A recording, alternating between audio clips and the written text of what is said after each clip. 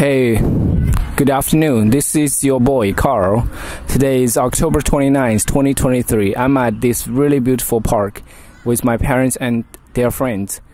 And we've been here for like probably 6 hours since this morning or around 10:30 we got here and we had lunch here. It's been a really beautiful and relaxing day. I loved it. I absolutely enjoyed, you know, spending a day like this, you know.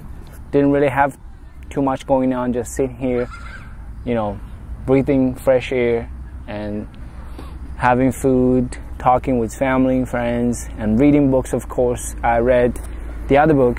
I decided to read this book to my camera anyway. I'm gonna just um, pick a random, pick another random page. How about um, chapter? Hold up. Ah, this one I have read it already. Let me see. Maybe chapter 16 okay the spiritual path of non-resistance. On page 149 one should view their spiritual work as learning to live life without stress problems fear or melodrama. This path of using life to evolve spiritually is truly the highest path. There really is no reason for tension or problems. Stress only happens when you resist life's events. If you are neither pushing life away nor pulling it toward you then you are not creating any resistance. You are simply present. In this state, you are just witnessing and experiencing the events of life taking place. If you choose to live this way, you will see that life can be lived in a state of peace. What an amazing process life is. This flow of atoms through time and space is just an internal sequence of events that take form and then instantly dissolve into the next moment.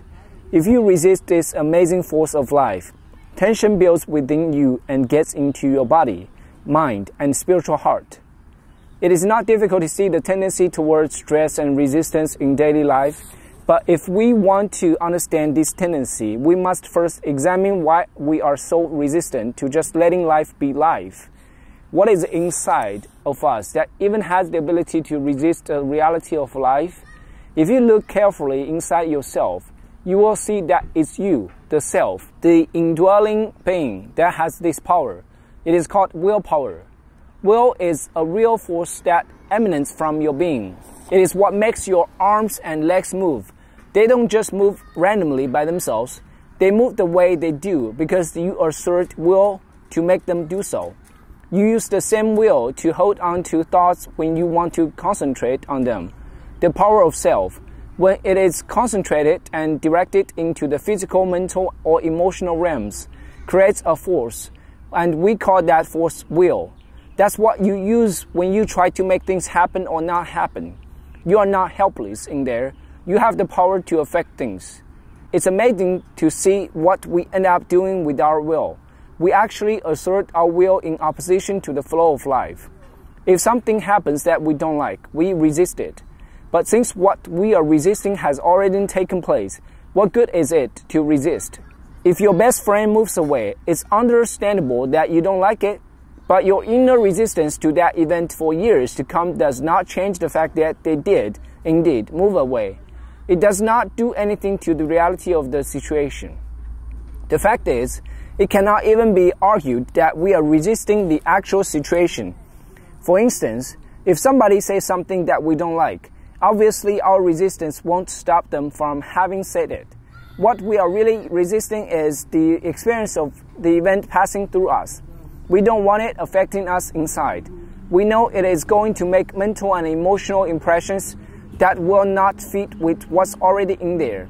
So we assert the force of will against the influence of the event in an attempt to stop it from passing through our hearts and minds.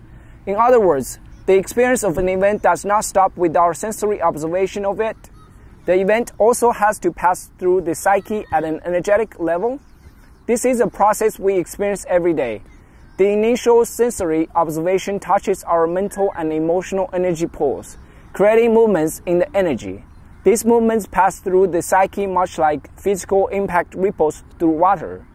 Amazingly, you actually have the ability to resist these movements of energy. The assertion of willpower can stop the energy transfer, and that's what creates tension. You can wear yourself out struggling with the experience of a single event, or even a single thought of or emotion, and you know that all too well. Eventually, you'll see that this resistance is a tremendous waste of energy. The fact is, you are generally using your will to resist one of two things that which has already happened or that which hasn't happened yet. You are sitting inside resisting impressions from the past or thoughts about the future. Think of how much energy is wasted resisting what has already happened. Since the event has already passed, you are actually struggling with yourself, not with the event. In addition, contemplate how much energy is wasted resisting what might happen. Since most of the things you think might happen never do, you are just throwing your energy away. How you deal with your energy flow has a major effect on your life. If you assert your will against the energy of an event that has already happened, it is like trying to stop the ripples caused by a leaf dropped into a still lake. Anything you do causes more disturbance, not less. When you resist, the energy has no place to go. It gets stuck in your psyche and seriously affects you. It blocks your heart's energy flow and causes you to feel closed and less vibrant. This is literally what's happening when something is weighing on your mind or when things just get too heavy for you. This is the human predicament. Events have happened and we continue to hold their energy inside of us by resisting them. Now, when we face today's events, we are neither prepared to receive them nor capable of digesting them. This is because we are still struggling with past energies. Over time, the energies can build up to the point that the person becomes so blocked that they either blow up or shut down completely. This is what it means to get stressed out or even totally burned out. There is no reason to get stressed out. There is no reason for blowing up or shutting down. If you do not let this energy build up inside you, but instead allow each moment of each day to pass through you, then you can be as fresh every moment as you would be on a stress free vacation. It is not life's events that are causing problems or stress. It is your resistance to life's events that is causing this experience. Since the problem is caused by using your will to resist the reality of life passing through you, the solution is quite obvious. Stop resisting. If you are going to resist something, at least have some rational basis for resisting. Otherwise, you are irrationally wasting precious energy. Be willing to examine the process of resistance in order to resist, you first must decide that something is not the way you like it. Plenty of events make it right through you. Why did you decide to resist this one? Something inside of you must have a basis for deciding when to simply let things pass through and when to assert willpower to either push them away or cling to them. There are a billion things that don't bother you at all. You drive to work every day and you hardly notice the buildings and trees. The white lines on the road don't stress you out at all. You see them, but they pass right through you. Don't assume, however, it's that way for everyone.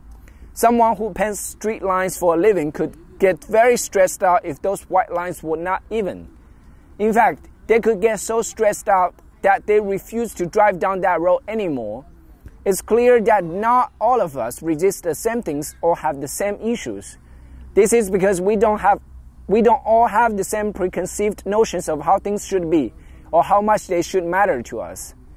If you want to understand stress, begin by realizing that you carry around with you your own set of preconceived notions of how things should be. It is based upon these notions that you assert your will to resist what has already happened. Where did you get these preconceived notions? Let's say that seeing azaleas in bloom stresses you out. Surely that doesn't bother most people. Why does it bother you? All we need to know is that you once had a girlfriend who grew azaleas and she broke up with you when they were in bloom. Not now every time you see azaleas in bloom, your heart closes. You don't even want to go near the things. They just create too much disturbance for you. These personal events that take place in our lives leave impressions on our minds and hearts those impressions become the basis for asserting our will to either resist or cling. It's no deeper than that. The events may have happened in your childhood or at various points throughout your life. Regardless of when they happened, they left impressions inside of you. Now, based on these past impressions, you are resisting the current events that are taking place. This creates inner tension. turmoil, struggle, and suffering. Instead of seeing this and refusing to allow these past events to run your life, you buy into them. Believing they have real meaning, you put all your heart and soul into either resisting or clinging. But in truth, this entire process has no real meaning. It just destroys your life. The alternative is to use life to let go of these impressions and stress they create. In order to do this, you have to become very cautious. You have to carefully watch the mental voice that tells you to resist something. It literally commands you. I don't like what he said. Fix it. It gives you advice and tells you to confront the world by resisting things. Why do you listen to it? Let your spiritual path become the willingness to let whatever happens make it through you, rather than carrying it into the next moment. That doesn't mean you don't deal with what happens. You're welcome to deal with it, but first let the energy make it through you. If you don't, you will not actually be dealing with the current event. You will be dealing with your own blocked energies from the past. You will not be coming from a place of clarity, but from a place of inner resistance and tension. To avoid this, begin dealing with each situation with acceptance. Acceptance means that events can make it through you without resistance. If an event takes place and is able to make it through your psyche, you will be left face to face with the actual situation as it truly exists. Since you are dealing with the actual event rather than stored energy stimulated by the event, you won't assert reactive energy from your past. You will find that you are able to deal with daily situations much better it is actually possible to never have another problem for the rest of your life. This is because events are not problems. They're just events. Your resistance to them is what causes the problem. But again, don't think that because you accept the reality, it means you don't deal with things. You do deal with them. You just deal with them as events that are taking place on the planet Earth and not as personal problems you will be surprised to find that in most situations there's nothing to deal with except for your own fears and desires. Fear and desire make everything seem so complicated. If you don't have fear or desire about event, there's really nothing to deal with. You simply allow life to unfold and interact with it in a natural and rational manner. When the next thing happens, you are fully present in that moment and simply enjoying the experience of life. There are no problems. It's all about no problems, no tension, no stress, and no burnout. When the events of this world make it through you, you have reached a deep spiritual state. You can then be conscious in the presence of whatever takes place without building up blocked energies. When you attain that state, everything becomes clear. In contrast, everybody else is attempting to deal with the world around them while struggling with their own reactions and personal preferences. When the person is dealing with their own fears, anxieties, and desires, how much energy is left for dealing with what's actually happening? Stop and think about what you are capable of achieving. Up to now, your capacities have been constrained by constant inner struggles. Imagine what would happen if your awareness was free to focus only on the events actually taking place. You would have no noise going on inside. If you lived like this, you could do anything your capabilities would be exponential compared to what you've ever experienced. If you could bring this level of awareness and clarity to everything you do, your life would change. So, as your path, you take on the work of using life to let go of your resistance. Relationships are a great way to work with yourself. Imagine if you used relationships to get to know other people rather than to satisfy what is blocked inside of you. If you're not trying to make people fit into your preconceived notions of what you like or dislike, you will find that relationships are not really that difficult. If you are not so busy judging and resisting people based upon what is blocked inside of you, you will find that they are much easier to get along with. And so are you. Letting go of yourself is the simplest way to get closer to others. The same is true in your daily work. Daily work is fun. In fact, it's easy. Your work is just what you do with yourself during the day while you are spinning on a planet through empty space. If you want to be content and enjoy your work, you have to let go of yourself and let events flow through you. Your real work is what is left to do after all else passes through. Once the personal energies pass through you, the world becomes a different place. People and events will appear different to you. You will realize that you have talents and abilities you never saw before. Your whole view of life will change. Every single thing in this world will look like it's being transformed.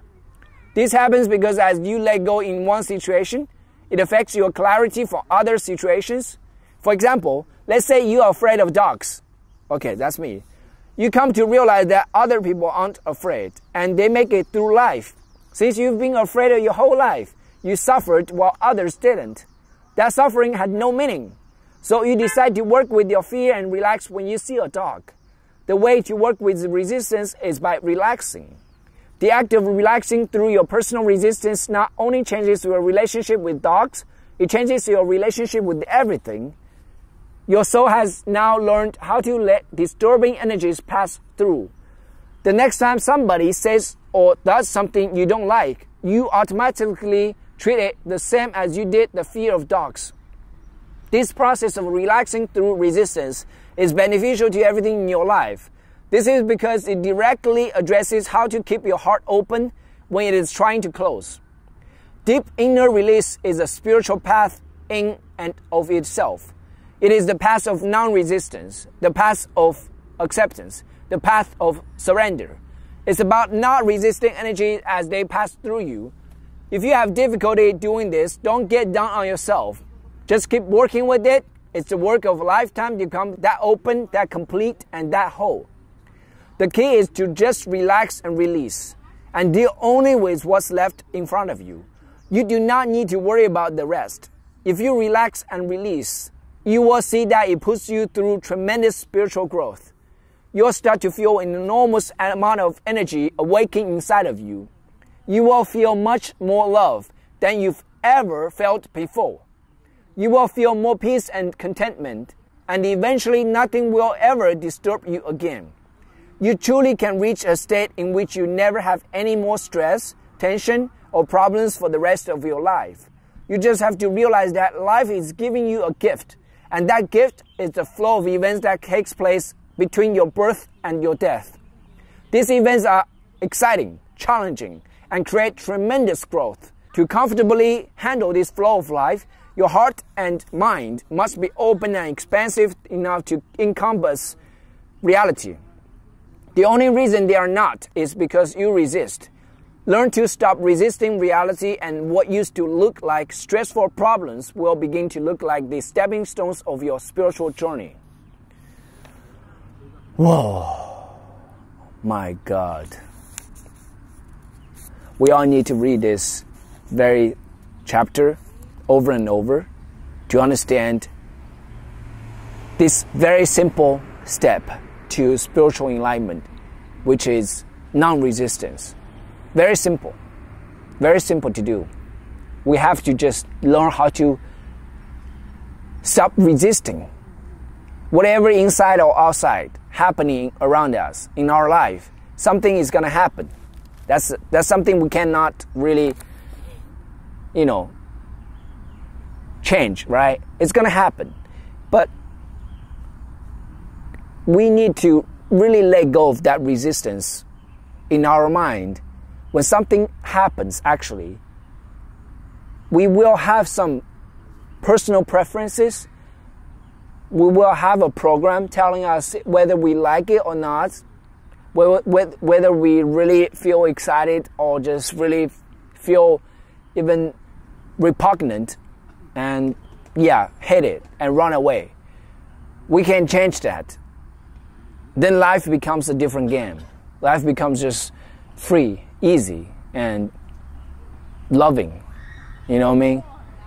And you never lose your sleep in the middle of the night. I mean, like, you just fall asleep very easily because you don't have any stress and tension. You don't have something that you hold on to your chest and you close your, excuse me, you close your heart and you just keep thinking and repeating that, you know, message to yourself resisting it.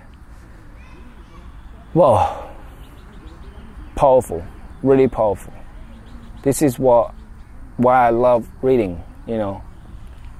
You can do it anywhere, anytime.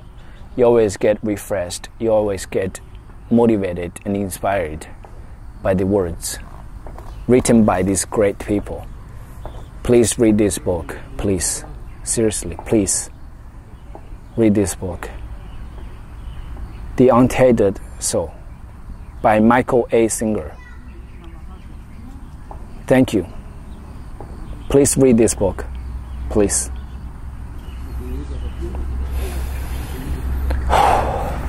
Beautiful. All right. Let me show you really quick my surroundings again. The sun is setting almost, and my parents is in the back. They're cooking and about to have some dinner, but I believe we're going to my grandparents' place to have dinner with my cousin. She's back. Anyway, talk to you later. Thank you for watching and reading with me. Have a great day.